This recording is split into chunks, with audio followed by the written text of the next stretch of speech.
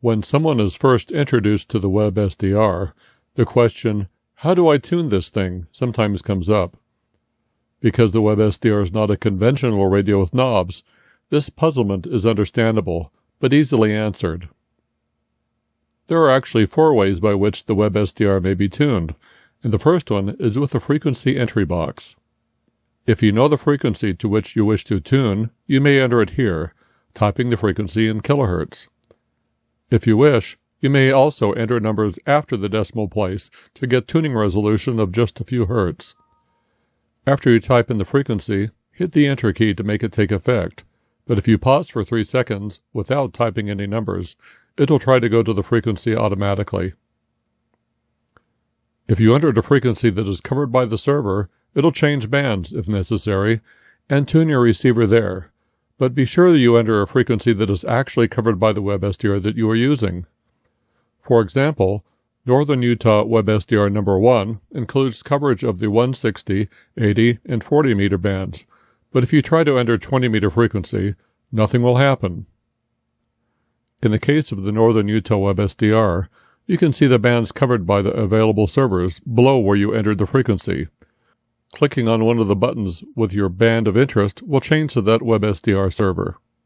Another means of changing frequency is to use the mouse.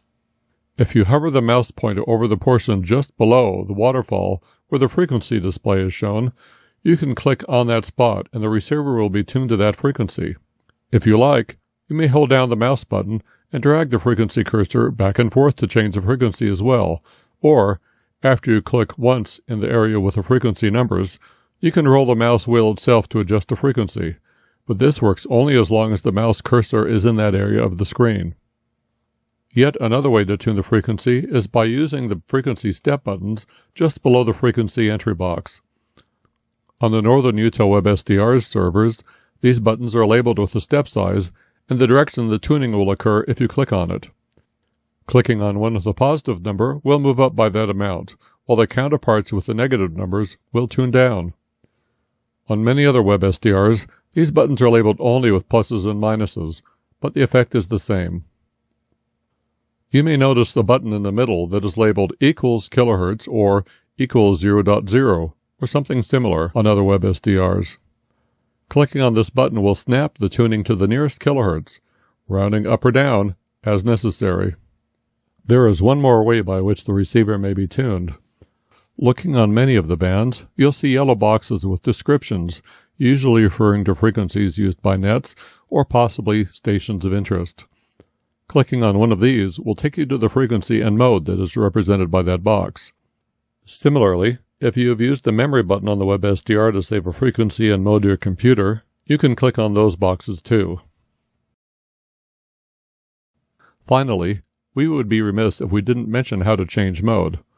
While the current mode is displayed on the Northern Utah WebSDR servers just below the frequency entry box, you may select the mode by scrolling down below the band select buttons.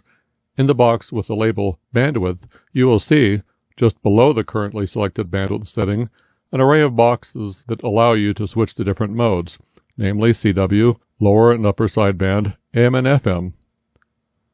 Keep these mode buttons in mind when you change frequencies, as the WebSDR may not automatically switch to the desired mode as you change bands. Thanks for watching.